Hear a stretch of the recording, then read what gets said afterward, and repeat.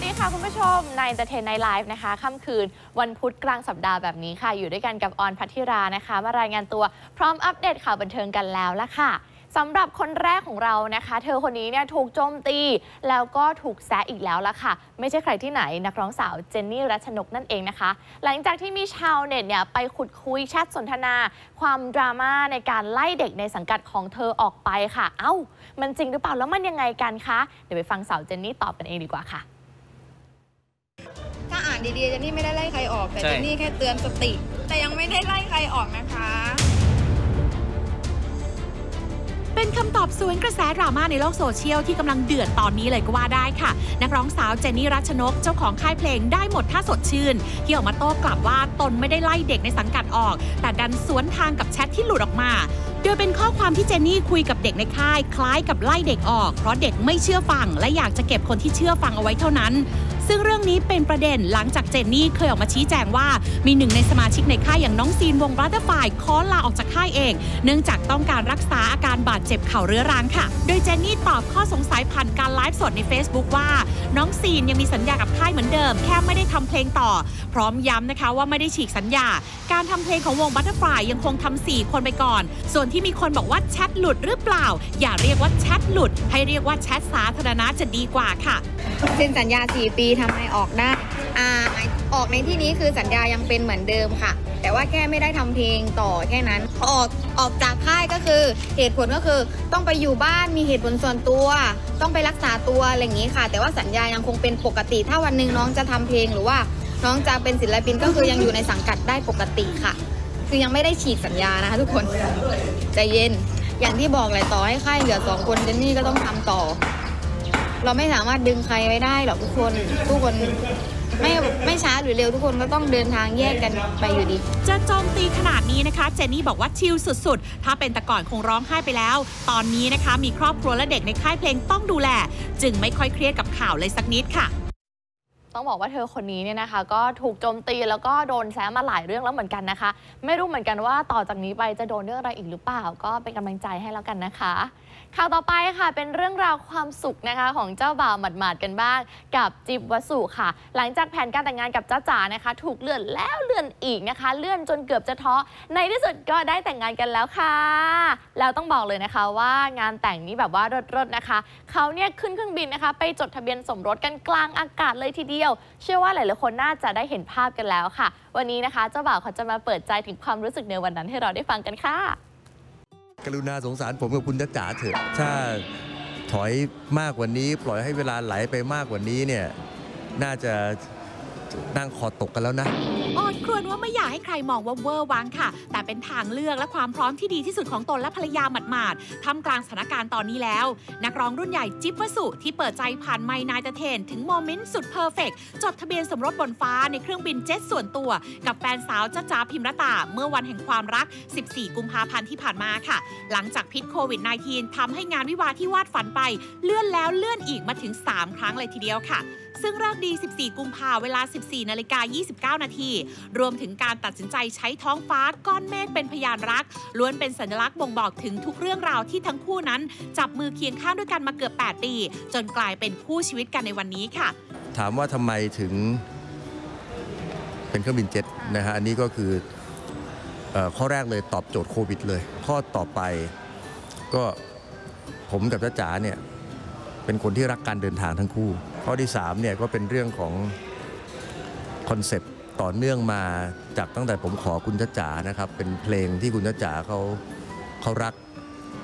เขาชอบเนี่ยคือ Top of the World 14 กุมภาพันธ์เมื่อ 58 ปีที่แล้วเนี่ยเป็นวันที่คุณพ่อคุณแม่ผมเนี่ยจดทะเบียนกัน ผมเกิด 29 ธันวาคม คุณจ้าจ๋าเกิด 29 พฤศจิกายนก็เลยคุยกับคุณจ้าจ๋าว่าเราจะกำหนดนะว่าเป็น 14.29 ทุกอย่างมันก็ พร้อมตั้งแต่ใจมาก่อนละนะฮะพอใจพร้อมที่เหลือก็เป็นเรื่องของแค่การเตรียมการเรื่องของพิธีการเท่านั้นคุณจ๋าเองนะถึงแม้ว่าได้อะไรเตรียมใจมาก่อนหน้านานพอสมควรแล้วนะฮะว่าโอเคถึงวันนี้แน่ แต่ถึงวันจริงเขาก็ยังแบบยังหันซ้ายหันขวาอยู่อะไรเงี้ยแล้วก็นั่งน้ำตาไหลแล้วก็ยังหันมาถามผมเนี่ยบอกว่านี่ตกลง นี่หนูไม่โสดแล้วใช่ไหมคะนี่หนูไม่โสดแล้วใช่ไหมคะคุณน้าจ๋าก็น่าจะอะไรอะพอหลังจากความเขินผ่านไปเขาก็น่าจะเป็นความสุขได้อย่างเต็มที่ละส่วนงานฉลองสมรสจิ๊บยืนยันนะคะว่ามีขึ้นแน่นอน แต่ยังไม่ขอระบุวันเวลา เพราะไม่อยากเจอพิษล่มเหมือนที่ผ่านมาค่ะ ยินดีกับทั้งคู่ด้วยนะคะ แล้วก็แว่วๆมาด้วยนะว่าเขาใช้เงินไปกว่าครึ่งล้านเลยนะคะ กับโมเมนต์พิเศษแบบนี้ ฟังแล้วก็รู้สึกว่าเขินแทนพี่จ๋าเลย แล้วก็เป็นโมเมนต์ที่มีความหมายมากๆเลยละค่ะ คุณผู้ชมคะจริง ๆ แล้วเนี่ยการที่เราได้ทำอะไรแปลกๆ ใหม่ๆ บ้างเนี่ยก็ถือว่าเป็นสีสันแล้วก็เป็นชีวิตชีวานะคะ แบบใหม่ๆ ในชีวิตเราเหมือนกันเนาะก็แล้วแต่ว่าใครจะทำอะไรนะคะ แต่ที่ง่ายที่สุดเลยเนี่ยคือการลุกขึ้นมาเปลี่ยนลุคตัวเองค่ะเหมือนที่ดารา แล้วก็คนบันเทิงหลายๆคนทำกันนะคะ ไม่ว่าจะเป็นการเปลี่ยนทรงผม เปลี่ยนสีผมนะคะ ก็อาจจะทำให้เรารู้สึกสดชื่น แล้วก็มีชีวิตชีวามากขึ้นด้วยค่ะ แล้วตอนนี้ค่ะเราก็จะมีมาให้ดูกันว่ามีใครเปลี่ยนลุคแบบไหนกันไปบ้าง ไปชมกันเลยค่ะ เพราะโควิด -19 ยังคงโคจรอยู่รอบตัวก็เลยทำให้ไปลันลาที่ไหนไม่ได้ แต่ครั้นจะทำตัวให้แห้งเหี่ยวมันก็จะดูหดหูไปเนาะสาวๆคนดังบ้านเราหลายคนก็เลยถือโอกาสเนี้ย ลุกขึ้นมาแปลงโฉมกระชากลุก เพื่อเรียกความสดใสกลับคืนมานางเอกสาวมินพิชยาที่เรามักจะคุ้นตากับผมยาวสลวยสีดำเงาวับ แต่ล่าสุดมันในนิวลุกด้วยการทำสีผมครั้งแรกในชีวิต เปลี่ยนผมดำเป็นผมเทาอมฟ้า ตอนนี้สีผมก็เริ่มเปลี่ยนไปบ้างแล้ว แต่บอกเลยว่าไม่ว่าจะใส่กับชุดอะไรก็ดูเท่ดูชิคไปซะหมด ซึ่งสาวมินเขาก็บอกว่าอยากทำสีผมมานานแล้ว และสาเหตุที่ลุกขึ้นมาเปลี่ยนสีผมครั้งนี้ เพราะอยากกล้าที่จะนอกกรอบดูบ้าง ภาพนางเอกหลายๆคนอาจจะมองว่าต้องเหมือนเดิมลุกเรียบร้อยตลอด แต่ตอนนี้อะไรๆก็ดูตื่นเต้นสนุกขึ้น ก็เลยอยากลองดู ซึ่งผลลัพธ์ออกมาเป็นที่น่าพอใจ เพราะแฟนๆแห่ไปชื่นชมลุคใหม่ของสาวมิน ที่ไม่เคยเห็นกันมาก่อนแน่นไอจีเลยล่ะค่ะฝากนางเอกสาวมิ้นชาลิดา ก็เป็นอีกคนที่ตัดสินใจให้ช่างจับกันไกลตัดผมสั้นเป็นครั้งแรกในชีวิต เพื่อเตรียมลงละครเรื่องสร้างเสน่หาของผู้จัดคนเก่งตู่ปิยวดีท่ามกลางคนที่มาให้กำลังใจทั้งเชียร์ทั้งปลอบรวม 20 คน ถึงจะดูหวานๆ แต่ก็โชว์สปิริตเพื่อการแสดง และแน่นอนว่าความสวยระดับนางเอกถึงผมจะสั้นก็ดูสวยแถมยังเด็กลงอีกต่างหาก การันตีได้จากคำชมของเพื่อนๆนี่แหละค่ะ วงการผมสั้นเขาแล้วออกยาก คุณแม่คนสวยนิวเคลียร์หันษาก็เลยจัดเต็ม ตัดให้สั้นที่สุดในชีวิตกับทรงผมบ๊อบเก๋ๆกระชากวัย จากที่ดูเด็กอยู่แล้วก็ละอ่อนเข้าไปใหญ่ ไม่ใช่แค่คุณแม่ที่เปลี่ยนลุคนะจ๊ะ เพราะลูกชายน้องไทก้าก็มาในลุคอบป้า เพราะแม่นิวเขาดีไซน์ทรงผมดัดลอนให้เองกับมือ น่ารักน่าชังสารังเฮสุดๆ ไปเลยอะ แม่แฟชั่นขวัญใจเน็ตไอดอลยุคบุกเบิกอย่างสาวโฟร์ศกลรัตน์ความแซบอะไม่มีตก จะแปลงโฉมทั้งทีไม่มีธรรมดา ขอเลียนแบบนางเอกซีรีส์ในดวงใจ ตัดผมหน้าม้าเต่อพร้อมกับย้อมสีส้มแป๊ด บอกเลยว่าถ้าไม่ใช่สาวโฟร์ทำไม่ได้ แต่ระหว่างทำผมอยู่เนี่ยชีโฟร์ก็มีหวั่นหวั่นใจอยู่เหมือนกันนะว่าจะรอดหรือไม่รอด ถึงขั้นหันไปตัดพ้อกับหวานใจหนุ่มไทม์ไทย ที่มานั่งให้กำลังใจอยู่ข้างๆเลยอะ แค่ยาว ก็รู้สึกว่าหน้าตัวเองดูไม่ได้เธอหน้าเราไม่ได้เลยอะถึงจะหวั่นใจแอบไม่มั่นอยู่บ้าง แต่พอเสร็จออกมาก็ดูเปรี้ยวซ่าไม่เหมือนใคร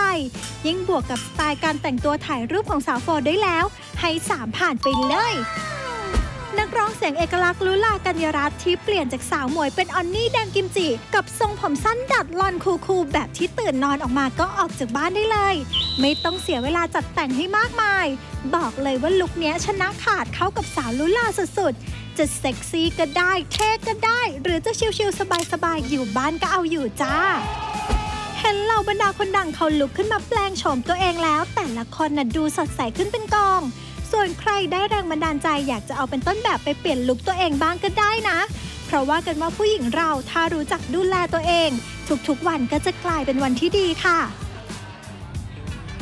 เผื่อใครเบื่อๆนะคะ อยากเปลี่ยนลุคก็ลองเอาไปเป็นไอเดียทำตามกันดูก็ได้นะคะ หรือว่าจะทำสีส้มแบบโฟร์เลยก็ได้ ส่วนออนคิดว่าถ้าทำแล้วก็คือว่าไม่น่ารอดเอาเป็นว่าเป็นแบบนี้แล้วกันค่ะ คุณผู้ชมคะเดี๋ยวจะพาไปฟังเหตุผลค่ะของหนุ่มเพชรกรุณพลกันบ้าง ว่าทำไมเขาถึงเลิกปาร์ตี้เลิกเหล้าได้เด็ดขาดเลยล่ะค่ะ ก็เพราะอายุอานามเข้าสู่วัย 45 ปีแล้ว นักแสดงหนุ่มเพชรกรุณพล บอกว่าชีวิตผ่านอะไรมาเยอะ ทั้งเรื่องความรักและไลฟ์สไตล์การใช้ชีวิตแบบสุดโต่งทำให้ตอนนี้เลิกปาร์ตี้เลิกดื่มเหล้าเด็ดขาด เพราะรู้สึกอิ่มตัวกับการใช้ชีวิตในช่วงที่ผ่านมาแล้วล่ะค่ะนานแล้วเป็นหลายปีแล้วครับเพราะเมื่อก่อนเนี่ยก็ทำผับกับเพื่อนๆทำที่มิวส์ทองหล่อแล้วพอร้านเลิกก็มันอิ่มตัว เพราะเป็นเจ้าของร้านเองด้วย แล้วพอเลิกปุ๊บก็ไม่อยากเที่ยวแล้ว อืมอะไรที่ทำให้เราแบบเลิกตรงนี้ แก่ ไม่แล้วก็อีกอย่างหนึ่งคือเราก็ไม่อยากแบบ รู้สึกว่าการเป็นเป็นนักแสดงมันก็เป็นตัวอย่างที่ที่คนอ่าจับตาเหมือนกัน ถ้าจะทานก็ทานที่บ้านดีกว่า บางครั้งอยากจะทานแอลกอฮอล์ก็ซื้อกลับมาทานที่บ้านอืมมันตัดใจยากไหมในการเลิก อุ้ยไม่ยากเลย อยู่ที่อยู่ที่ตัวเรามากกว่า เพราะอย่างไปปาร์ตี้กับเพื่อนตอนช่วงก่อนโควิดเนี่ย เพื่อนก็ขยันขยอเอ้ยกินดิ แล้วก็เดี๋ยวแบบกลับกลับไม่เป็นไรหรอก ไม่เอาดีกว่า ไม่อยากเสี่ยงอะแต่พอเลิกปุ๊บร่างกายเราเป็นยังไงมันเอ้ยร่างกายดีขึ้นนะ เพราะว่าคือเออมีเวลามากขึ้นหนึ่งคือไม่แห้งก์ไม่เสียเวลากับการไปกิน แล้วก็สุขภาพดีขึ้นไม่เหนื่อยง่าย แล้วก็รู้สึกว่าร่างกายมันสดใสขึ้น ก็เพราะลดละเลิกปาร์ตี้และดื่มเหล้าได้ทำให้หนุ่มเพชรกรุณพลมีเวลามาดูแลธุรกิจร้านอาหาร และร้านเบเกอรี่ได้อย่างเต็มที่ รวมถึงแบ่งเวลาให้กับการถ่ายละครถึง 3 เรื่องในปีนี้ด้วยค่ะ หมดเวลาของออนในคืนนี้แล้วนะคะ แต่ว่าพรุ่งนี้ 11 นาฬิกาค่ะ เดี๋ยวกลับมาติดตามกันนะคะ กับเรื่องราว คดีความของดีเจมะตูมค่ะ ซึ่งตอนนี้เนี่ยก็ได้เดินทางออกจากโรงพยาบาลแล้ว และเตรียมตัวจะไปให้ปากคำค่ะ รวมไปถึงสาวออมสุชานะคะ ที่หลาย ๆ คนก็คาดเดากันว่า เธอคนนี้เป็นนักแสดงที่มีแฟนติดเกมหนักมาก จะใช่เธอหรือเปล่า ติดตามกันได้ 11 นาฬิกากับ Nine Entertain นะคะ ส่วนคืนนี้ขอบคุณเสื้อผ้าของออนจาก The Louvre ด้วย ลาไปก่อนแล้ว สวัสดีค่ะ